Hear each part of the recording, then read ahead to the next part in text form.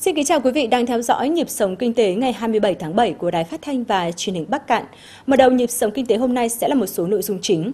Tiếp tục xuất siêu trong nửa đầu tháng 7. Ý kiến của người dân Bắc Cạn khi vàng tăng giá. Đẩy lùi tín dụng đen ở Bắc Cạn. Liên kết đầu ra cho sản phẩm nông nghiệp ở Bạch Thông.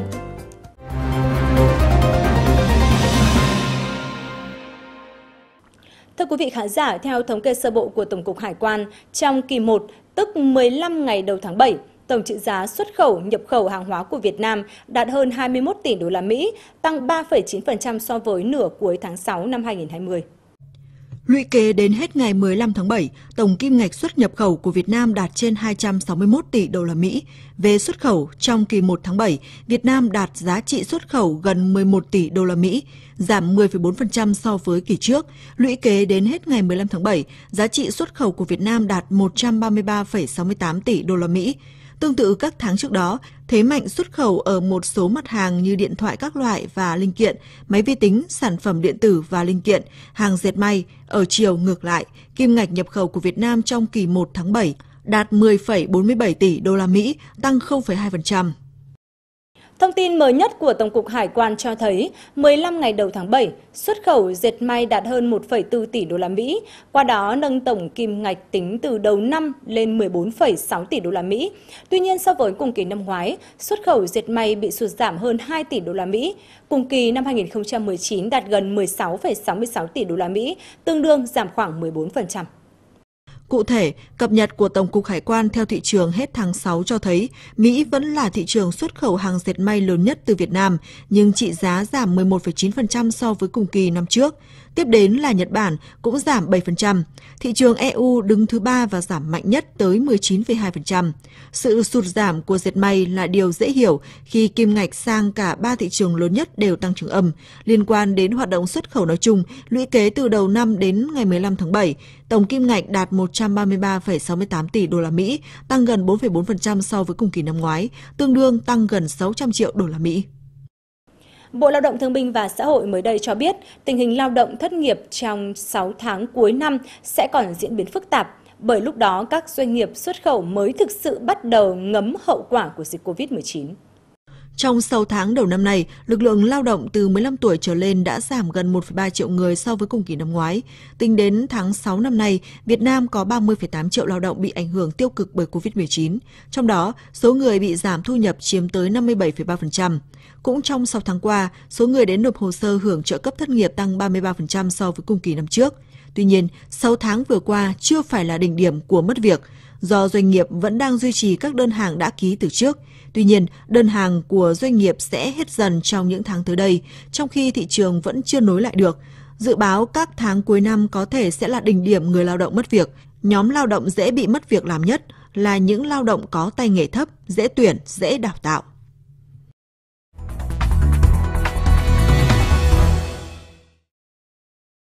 Thưa quý vị khán giả, hai tuần vừa qua, giá vàng trong nước liên tục lập đỉnh mới ở mốc hơn 50 triệu đồng một lượng, vượt xa cả mức kỷ lục cũ năm 2011 là 49 triệu đồng một lượng. Trước bối cảnh giá vàng tăng cao bất thường, người dân Bắc Cạn có phản ứng như thế nào? Mời quý vị khán giả cùng theo dõi phản ánh sau. Trong tuần qua, giá vàng tăng sốc khiến giao dịch trên thị trường sôi động hẳn lên. Số lượng người đến các cửa hàng vàng tăng đáng kể, nhưng không quá đột biến – Thời điểm giá vàng vượt 54 triệu đồng một lượng, một số người dân bắt đầu đổ xô đi mua bán vàng. Theo ghi nhận tại các cửa hàng kinh doanh vàng, lượng khách tăng so với những ngày trước đó. Có cái đợt 2011 kia làm giá cũng cao nhưng mà chưa cao đến như bây giờ. Cái hồi đấy 2012 thì nó cao nhất là 43, 44, nhưng mà như bây giờ nó lại lên cao nhất. Theo đa số các cửa hàng kinh doanh vàng, khác với thời điểm năm 2011, giá vàng tăng có một phần do người dân đổ xô đi mua bán tạo bong bóng.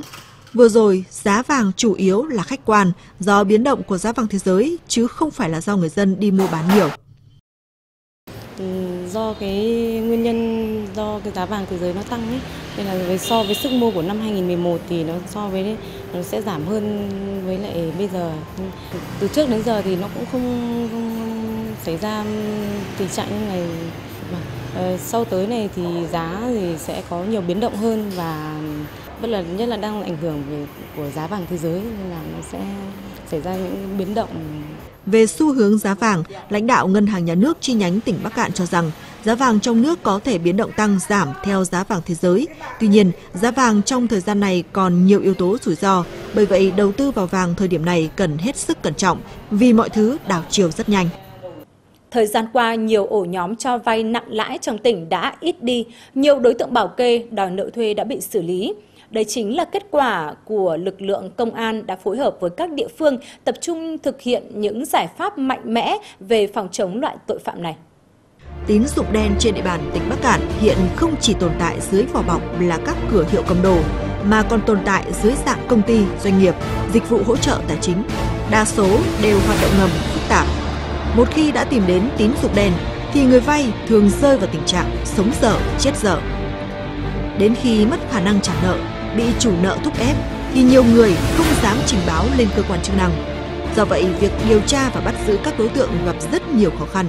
Theo ông Hà Trọng Trung, Phó Giám đốc Công an tỉnh Bắc Cạn, điều khó khăn nhất trong công tác điều tra tín dụng đen đó là trong các giấy vay tiền không thể hiện lãi suất và chỉ được các đối tượng và người vay tiền thỏa thuận bằng miệng.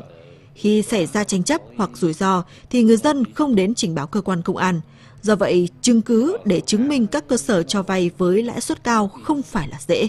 Về đấu tranh với vi phạm pháp luật và tội phạm lợi dụng tín dụng đen thì thời gian qua thì công an tỉnh cũng đã chỉ đạo các đơn vị nghiệp vụ ờ, lập các kế hoạch ờ, tổ chức đấu tranh triệt xóa các cái ổ nhóm Ờ, mang ờ, vi phạm pháp luật ờ, và đặc biệt là những cái hoạt động liên quan đến tín dụng đen bà con nhân dân cũng hết sức là đề cao cảnh giác trước những cái thủ đoạn tinh vi và những, trước những cái hành động mang tính manh động là rất là xảo quyệt của những cái vi phạm pháp luật cũng như là cái tội phạm liên quan đến cái hoạt động này. Từ đầu năm đến nay, lực lượng công an các cấp đã phát hiện, điều tra 8 vụ, 15 lượt đối tượng có hành vi cho vay nặng lãi. Kết quả đã thực hiện khởi tố 5 vụ liên quan đến hoạt động tín dụng đen.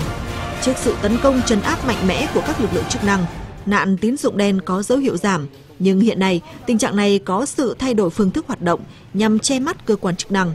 Bởi vậy, để giảm thiểu hoạt động tín dụng đen, hệ thống ngân hàng trên địa bàn tỉnh đã có nhiều chính sách hỗ trợ người dân vay vốn.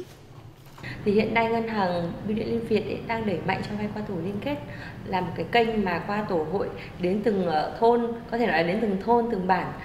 Thì đối với cả kênh qua tổ liên kết này thì cán bộ nhân viên của ngân hàng bưu điện liên việt là trực tiếp đi triển khai tại từng tổ dân phố một thì qua cái đấy thì là mình đã truyền thông tất cả những cái sản phẩm chính sách của mình đến bà con rồi thì ngay tại cái công tác mà tiếp nhận hồ sơ ấy, thì mình đã tư vấn trực tiếp cho bà con nên là những cái vướng mắc về thủ tục là bà con gần như không không mắc phải hệ quả do tín dụng đen không chỉ là lãi suất cắt cổ làm nhiều gia đình tan vỡ mà còn dẫn đến nhiều hệ lụy gây mất an ninh trật tự như giết người cướp tài sản cưỡng đoạt tài sản, cố ý gây thương tích, gây dối trật tự công cộng.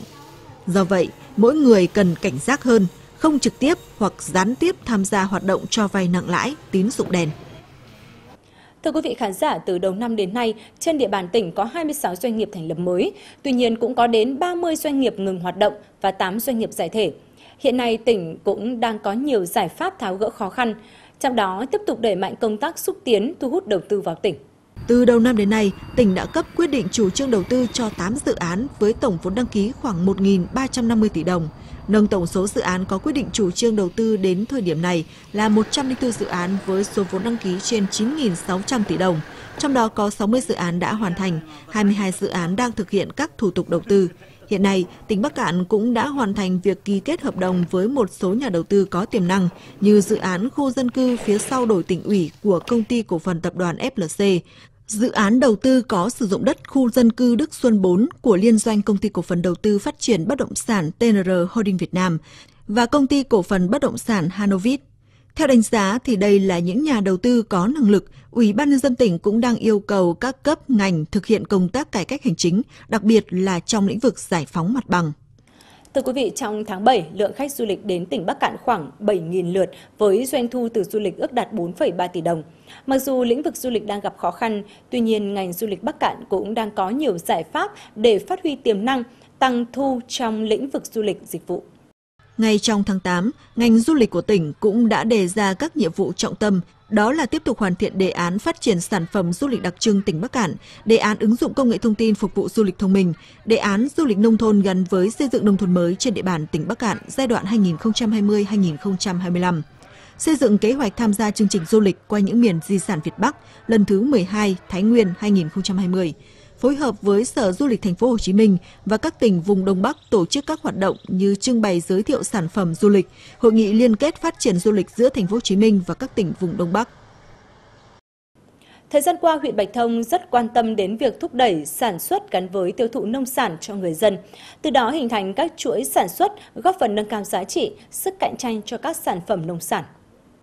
Vụ xuân năm 2020, huyện Bạch Thông gieo cấy hơn 94 hecta giống lúa Nhật Japonica dòng ZO2. Lúa sinh trưởng phát triển tốt, ít bị sâu bệnh, năng suất trung bình đạt 65 tạ một hecta. Thực hiện liên kết với doanh nghiệp để sản xuất, vì vậy thóc thu hoạch đến đâu được doanh nghiệp thu mua đến đó. Với giá bán 15.000 đồng một kg thóc, năm nay nhiều hộ cây giống lúa này đã có thu nhập khá. Theo tôi thì nếu mà có cái điều kiện để chúng tôi được ờ, doanh nghiệp chúng tôi được hợp tác với bà con nông dân và với chính quyền địa phương làm sao mà bao tiêu được cái sản phẩm cho bà con thì cũng làm sao mà có cái cơ chế làm sao mà bên uh, trên địa phương phải có cái hợp tác xã đứng ra để toàn bộ cái diện tích mà mà sản xuất nó phải tập trung và liền khoảnh liền khu thì chúng tôi thu mua thì nó mới thuận lợi. Thời gian qua, huyện Bạch Thông đẩy mạnh chuyển đổi cơ cấu cây trồng phù hợp với từng vùng, từng địa phương, Cùng với đó, huyện kêu gọi các doanh nghiệp đầu tư vào hoạt động sản xuất nông nghiệp theo hình thức liên kết sản xuất. Với những giải pháp trên, nhiều doanh nghiệp đã hợp tác với các hợp tác xã và hộ dân, cung ứng dịch vụ đầu vào, đầu ra, hỗ trợ kỹ thuật và tiêu thụ sản phẩm. Qua đó đã tạo cơ hội lớn cho nông dân mở rộng sản xuất, nâng cao giá trị sản phẩm, từng bước tạo ra mối quan hệ gắn bó ổn định giữa doanh nghiệp và nông dân điển hình như mô hình liên kết trong sản xuất cây thuốc lá, liên kết sản xuất cây chanh leo, Đặc biệt, tới đây địa phương cũng liên kết để cung ứng rau cho một số doanh nghiệp trên địa bàn tỉnh. Hiện nay thì huyện đang ờ, có cái dự án ờ, liên kết với lại ờ, công ty Misaki Việt Nam. thì sẽ triển khai thực hiện tại các cái xã để phục vụ cái rau xuất khẩu cho công ty. Theo như quyết định phê duyệt thì có 4 xã Cẩm Giang, Quân Hà,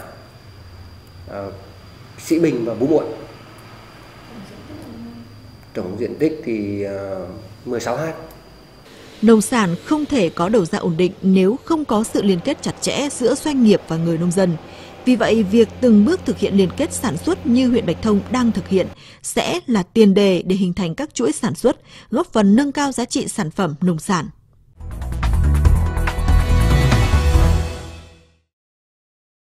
Đến nay, toàn tỉnh đã có gần 550 học sinh sinh viên được vay vốn ngân hàng chính sách xã hội để trang trải chi phí học tập.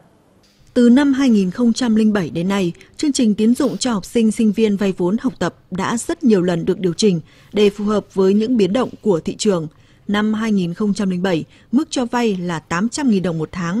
Đến năm 2009, mức cho vay tăng lên 860.000 đồng một tháng và năm 2010, mức cho vay tối đa lên 900.000 đồng một tháng. Sang năm 2013, mức vay nâng lên 1,1 triệu đồng một tháng. Đến năm 2016, tăng lên 1,25 triệu đồng một tháng. Sang năm 2017, tăng lên 1,5 triệu đồng một tháng. Đến giữa tháng 7 năm 2020, dư nợ của chương trình cho vay học sinh sinh viên đạt trên 500 triệu đồng. Đây là chương trình có ý nghĩa nhân văn sâu sắc cả về kinh tế, chính trị và xã hội, tạo được sự đồng thuận của các ngành các cấp, của cộng đồng xã hội, sự gắn kết giữa kinh tế với xã hội trong công tác giảm nghèo, đảm bảo an sinh xã hội, góp phần tạo nguồn nhân lực cho đất nước.